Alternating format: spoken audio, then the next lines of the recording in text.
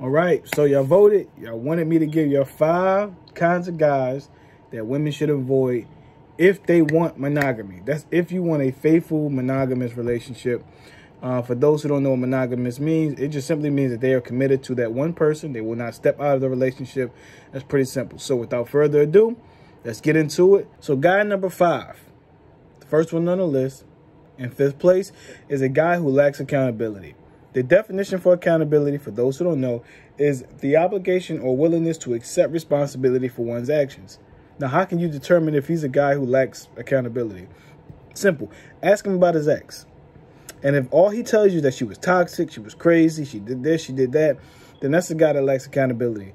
Because if he was with her for over a year, six months or so, I can guarantee you he did some things that weren't ideal, right? And that's just how it goes. If you were with someone for with over over a year and they were toxic, chances are you were pretty toxic too because once you identify someone being toxic, you should be leaving. Guy number four. Now, I was kind of a little wary on doing this one, but I had to do it. Repeat jail offenders. Ladies, you cannot motivate someone who's been in jail 10 times in the last three months. Leave him alone. Number three, non-direct men. Simple as that. Men know typically what they want. When they when they see a woman, when they talk to her, they typically we typically know what we want. It doesn't take us long to identify that. Um, so if he's not direct, if he's not concise in his in his intention, if he doesn't make that known, he's probably not the one for you. And you probably just need to leave it right there because you're going to end up doing a lot more work than it's worth. And you'll end up frustrated, heartbroken, blaming all men for the decision you just made. Number two is if he has three or more different baby mamas. Now, the reason for this is pretty simple chances are if he has three or more different baby mamas, he's in conflict with one of them.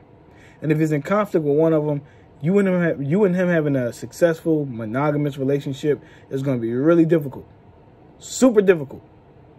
And you have to keep that in mind. Do you do you want to bring on that kind of trouble for yourself? Also, typically, you have the Nick Cannons of the world where they can have a bunch of kids and they can financially take care of them, and then you have what I call the hump and dump athletes and the hump and dump athletes are the guys who are just shooting up every club, getting as many women pregnant as possible, and they can't afford to take none, take care of none of them.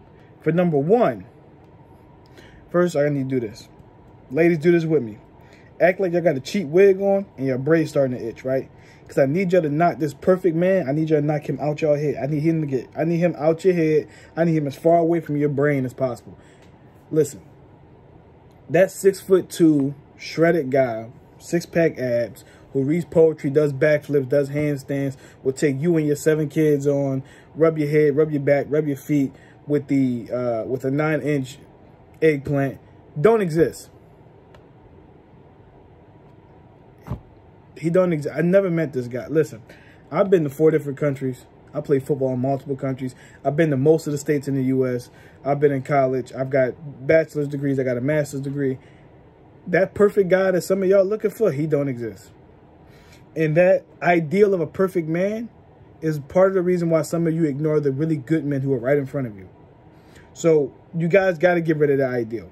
You have to. He does not exist. Disney, I love Disney. Disney lied to y'all. Because he ain't, that, that guy don't exist. So just tap the back of that head, right? Hopefully he falls off the front and then you step on him because he ain't there. Because there's a lot of great men out here who you guys overlook who are right in front of you, who are within reach and you guys got this idea of this perfect guy. And that is is skewing your ideals of what an average man looks like or what a good guy looks like. Now ladies in all fairness i gave you guys a list. So that means tomorrow morning i have to give the fellas a list